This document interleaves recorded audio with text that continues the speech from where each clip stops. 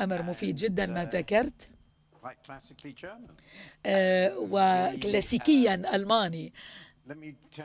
دعوني آه، آه، آه، أسألك محمد الوضع في مصر يبدو مختلفا ربما إلى حد ما عن تلك الدول المصنفة تريبل اي وهنالك تحديات كيف ترون حشد الموارد والتوازن على مستوى الميزانية العامة والتحديات من منظوركم؟ نعم الوضع في مصر قد يكون أكثر صعوبة نتيجة استمرار أربعة سنوات سنتين من الكورونا وسنتين في مكافحة التضخم حتى الآن. كل هذا له آه، تأثيره السلبي. آخذين بعين الاعتبار أن واحد من أهم الآثار هو كلفة التمويل وزيادة آه، الدين وخدمة الدين وكذلك ارتفاع كلفة خدمة الدين وكيفية التعامل مع الأثر السلبي. لهكذا آه، وضع موجود فيه تضخم وتأثيره على المواطنين العاديين في بلد كمصر فيها 106 مليون شخص زائد 9 مليون ضيف.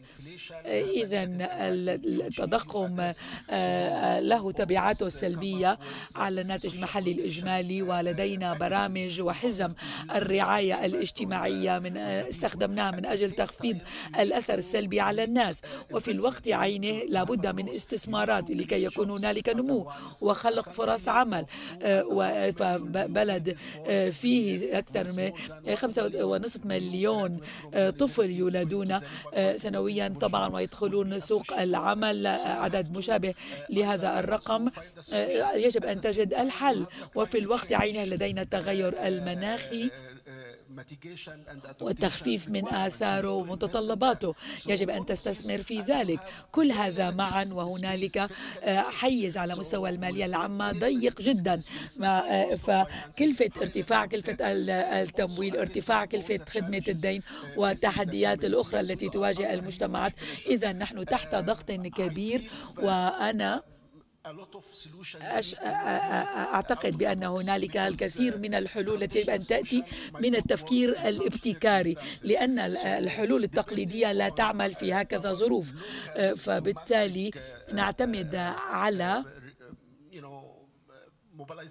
حشد الإيرادات من السوق المحلي. وهذا ليس بالخيار السهل لأنه في نهاية المطاف أنت تؤثر على الاقتصاد وتؤثر على جيوب الناس. وماذا في جيوبهم. ودائما نقول بأن وزراء المالية دائما أيديهم آه، في جيوب المواطنين وبالتالي يقولون لنا أخرجوا أيديكم من جيوبنا. آه، إذا من أين يمكن أن نحصل على المال اللازم؟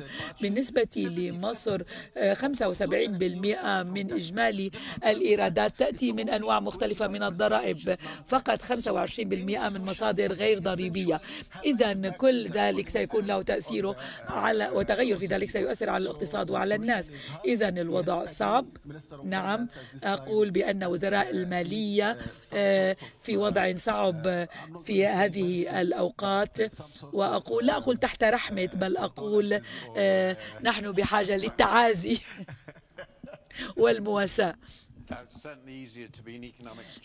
طبعا أن يعني أن تكون صحفيا اقتصاديا. تعرف ما الذي يقصدون إذا جيسون كيف يبدو الأمر من منظور بلد؟ من الواضح أن لديها آه، آه، إمكانية الوصول للائتمان بشكل غير محدود. لأنهم لن آه، يقل لديهم الدولار على الإطلاق. أنا أقول بأن لدي أمران متصلان بهارفارد يبدو لي الأمر أنه في السبعينيات كان هنالك قالوا بأن هنالك 40 سنة من النفط متبقية واليوم يقولون 20 سنة. ولو سألتني قبل 20 سنة هل دين الولايات المتحدة الأمريكية آه، هو 100% من الناتج المحلي الإجمالي و8% هو العجز. آه، فأقول بأنه حقيقة حتى آه، فيما رأيناه في سندات العشر عشر سنوات مع تنبؤات قبل عشرين سنة فسندات لعشر سنوات ستكون الآن.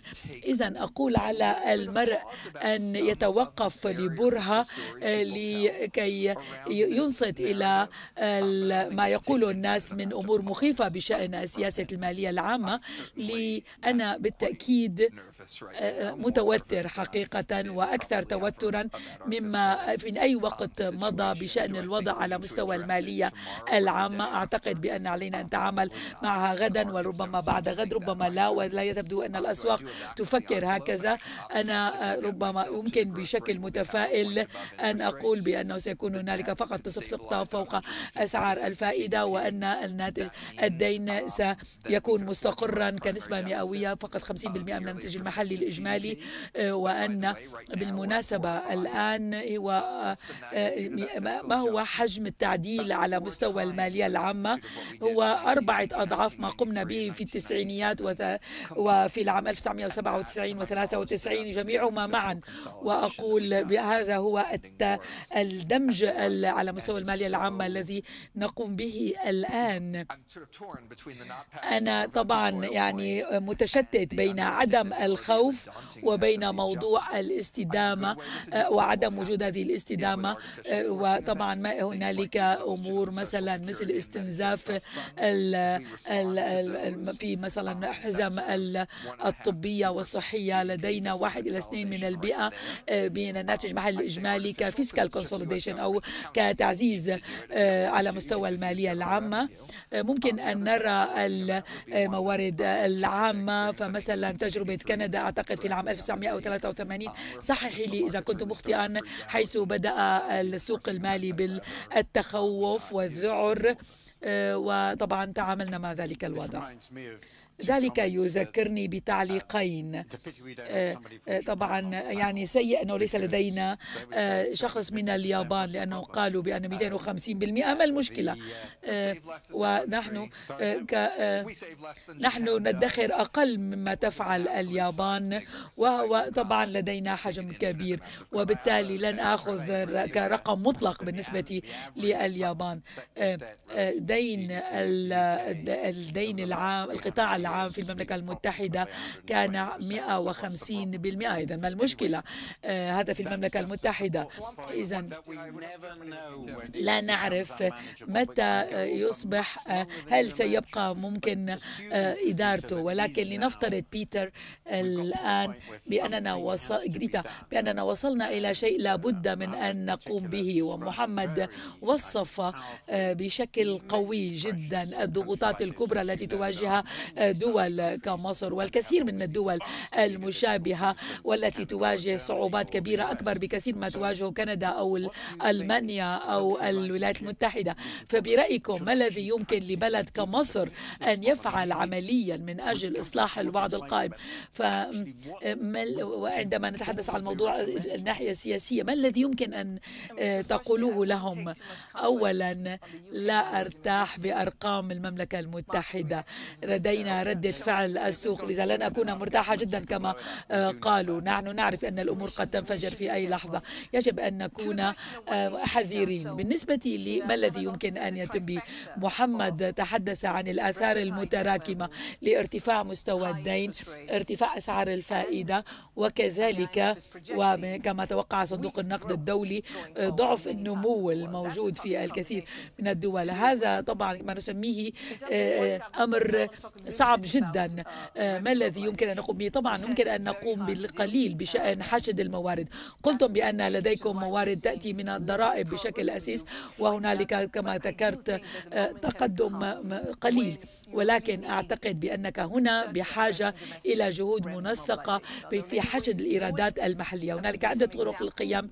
بذلك أعطيكم بعض الأمثلة الأرقام التي لدينا في بداية حديثي قلت بأن الدول النامية بحاجة إلى, إلى أن تضيف ثلاثة تريليون دولار إضافية من أجل أن تفي باحتياجاتها من الإنفاق. وطبعا لدينا التحول المناخي ولدينا. إذا هذه الثلاثة تريليون ما الذي نأخذه من الأسواق ما الذي تطلبه الأسواق الناشئة؟ وهنا نقول لنحاول أن نحقق إيرادات من دون تغيير بشكل دراماتيكي ولا من الهيكليات الاقتصادية بشكل دراماتيكي. يمكن أن نصل إلى ثلاثة تريليون. ما الذي يعني ذلك؟ يعني بأنه أولا يجب أن نزيد القاعدة الضريبية. هنالك عدة استثناءات معطاة أكثر من اللازم في السياسة الضريبية. وهذه الاستثناءات لا تفيد أحدا. وهي طبعا تصاعدية. ولا بد إذا يجب تخفيف من هذه الاستثناءات وفي بعض الحالات يجب أن نزيد من معدلات الضريبية أيضا. فطبعا هنالك الكثير من المنافسة في موضوع الضرائب في العالم. الدول يجب أن تطبق ما تتفق عليه من أجل أن يكون تعرف مقدار ضريبة الشركات المحصلة. وأعطيكم مثال. مثلا إذا نظرنا إلى من هم أغنياء جدا في كندا وفي أمريكا. 50% من دخلهم يأتي من نوع من التل من اللعب على موضوع الضرائب. يدفعون أقل ضرائب من غيرهم. هنا يجب أن نركز. ثانيا أو ثالثا. آه، إذا كنا سنضع سياسة إنفاق فيجب أن نفكر كيف سندفع آه، متطلبات. مثلا ممكن تسعير الكربون يمكن أن يلعب ذلك دورا وكذلك ضرائب على الكربون. آه، وأن يكون هنالك نمو وخلق فرص عمل في الاقتصاد. والنقطة الأخيرة وأكثر من الضرائب وغيرها. ممكن أن نقوم بالإصلاحات الهيكلية التي تزيد من الإنتاجية. فإذا استطعنا أن نزيد من الإنتاجية فذلك سيمول نفسه. إن صح التعبير موضوع التعليم المبكر الرعاية رعاية الأطفال كل هذا يمول نفسه. إذا آه، وضع أولويات في الإنفاق والتركيز على المجالات التي ممكن أن تزيد من النمو وتعززه كريستيان مضامين ذلك؟ ربما علينا أن نرفع نزيد من الضرائب.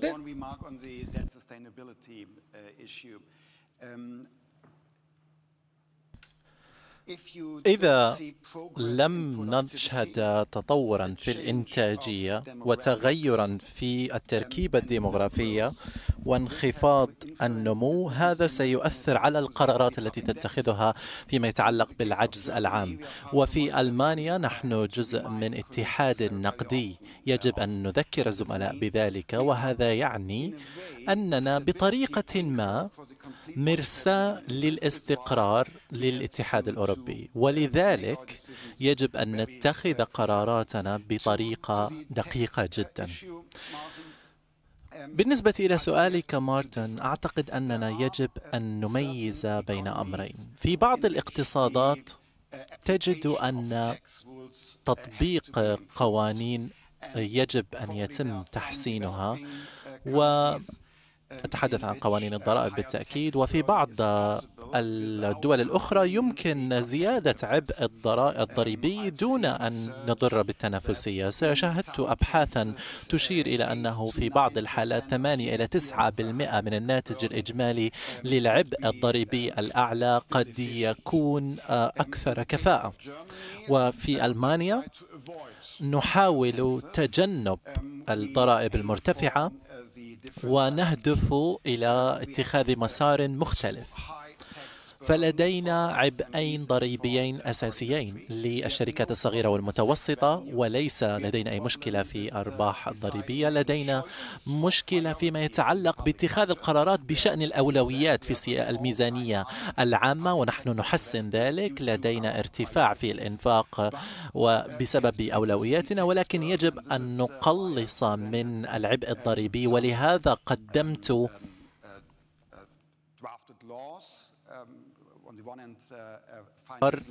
مشروع قرار فيما يتعلق بفرص النمو وكلا المشروعين يهدفان إلى تحسين التنافسية في السياسات الضريبية للشركات الألمانية. إذا كريستيان لديك طموحات كبيرة جدا وكما ذكرت أنتم دولة تعرضت إلى صدمة. منذ جيل مضى واتبعتم سياسة نقدية مشددة وخفضتم القروض بمعايير دول السبع ولكن تريدون الإنفاق لديكم جانب للتوريد الحديث هذا هل يعني ذلك أنه سيكون عليكم رفع الضرائب؟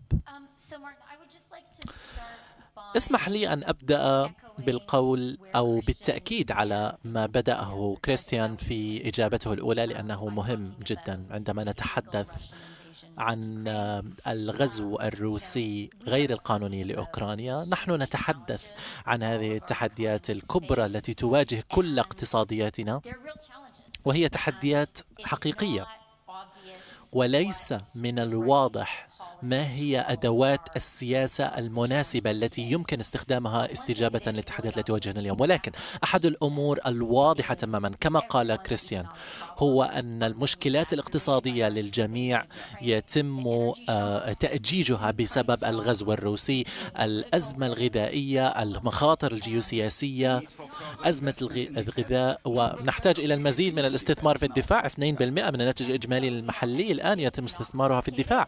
نعم. وهذا غير معقد. هذا أمر مباشر عندما نتحدث عن تحدياتنا الاقتصادية. يجب أن نضع ذلك في الاعتبار. شكرا لك كريستيان على تسليط الضوء على ذلك. أتفق معك تماما. التحديات الأخرى مارتن التي أود أن أضيفها والتي قد تكون مثيرة للاهتمام هي فيما يتعلق بسعر التلوث. لدينا سعر للتلوث في كندا ويرتفع ب 15 دولارا سنويا بما فيه العام الحالي والعام الماضي وسيرتفع وصولا إلى ألف آه، إلى عفوا 175 دولارا سنويا. آه، لدينا انتخابين أو تم الفوز بانتخاب عمليتين انتخابيتين بسبب أسعار التلوث. والأمر هنا آه، أو السبب في ذلك هو أن هذه وسيلة لنا للتصرف واتخاذ الإجراءات بشأن المناخ دون أن ننفق أموال الأشخاص من خلال الإنفاق المالي أو أن نأخذ الأموال من جيوب الأسر الكندية. الأسر الكندية الآن تحصل على أكثر من ألف دولار سنويا من خلال هذا القانون قانون سعر التلوث. أمرين آخرين يجب أن نذكرهما. كريستيان تحدث عن التحدي المتمثل في التركيبة السكانية أو التحدي الديموغرافي ونقص العمالة لدول آه، مجموعة السبع. هو طبعا أحد البنود في جدول الأعمال. في كندا الرعاية التعليم المبكر للأطفال هو أحد الأمور. وأيضا أننا دولة داعمة للمهاجرين هو عامل آخر. نحن الآن آه، نمثل آه، السكان آه، إذا تقريبا المهاجرين يمثلون واحد بالمئة مما نحاول تحقيقه. نحن نرى هذا جزء من إجابتنا للنمو. وآخر شيء أود الإشارة إليه هو أنني عادة أفكر عندما يتم عقد اجتماعات للاقتصاديين الأذكياء عندما نتحدث عن الحلول التكنوقراطية أعتقد أن سعادة الوزير ذكر نقطة مهمة جدا أننا يجب أن نجد حلولا مناسبة للناس. ومن المهم بالنسبة لنا ألا نفكر أن هناك حقيبة أدوات تكنوقراطية منفصلة عن احتياجات مواطنينا. وبالتأكيد بالنسبة إلى كندا الكنديون يشعرون بضغوطات كبيرة جدا. فقد مروا بالجائحة ثم صدمة سلاسل التوريد ثم التضخم. والآن يعانون من ارتفاع أسعار الفائدة. وأعتقد أننا بحاجة إلى النظر إلى أي سياسات نضعها من هذه العدسة ومن هذا المنظور. ما الذي سيؤثر على الأسرة الكندية؟ ننتقل إليك سيد محمد. واسمح لي أن أتحدث عن آخر فقرة لأن يمكن أن ندمجها الآن مع هذه الفقرة. كما قيل للتو هناك جانب تكنوقراطي إلى حد ما. من وجهة نظر اقتصادية ما هو أكبر أو أفضل أوجه الكفاءة لرفع الضرائب بالنسبة إلى بعض الجوانب والطلب في منظومة الضرائب ولكن السؤال الآخر وهو مهم أيضا هو أنك يجب أن تفعل ذلك وتحافظ على دعم الشعوب وهذا مهم جدا بالنسبة إلى أي حكومة. إذا كيف ترى الموازنة ما بين الأمور أو الجوانب السياسية بما يجب عليك أن تفعله والاحتياجات الهائلة التي يجب أن تحققها. فيما يتعلق بالضرائب لن أحصل على أي دعم من الشعب. دائما يخبرني البرلمانيون أنهم يكرهون رؤيتي هناك لأنهم يعرفون أن هناك ضرائب إضافية طالما أني أحضر. وبالتالي الشعب لن يدعم أي زيادة للضرائب. سأعود إلى قضية أو مسألة مصر وهي قد تكون مشابهة للعديد من الدول الناشئة أو الدول النامية. الشعب أو من فئة الشباب مستوى الخصوبة عالي جدا 2.5 مليون طفل يولد سنويا وأيضا خطر الطول في العمر لا أتحدث عن الشيخوخة وإنما العمر المديد يضع ضغوطا على نهاية المنحنى وفي الوقت ذاته الفقر حوالي 32% ما يعني أن لدينا 35 مليون نسمة على مستوى الفقر ويجب أن نتعامل معهم. وفي الوقت ذاته أيضا يجب أن نتأكد أن أي تصميم لمنظومة الضرائب يتطرق إلى هيكلية التركيبة السكانية لفئة الشباب الذين يبحثون عن الوظائف يحتاجون إلى النمو إلى مياه نظيفة إلى إسكان تعليم صحة. كل هذه العوامل يجب أخذها في الحسبان.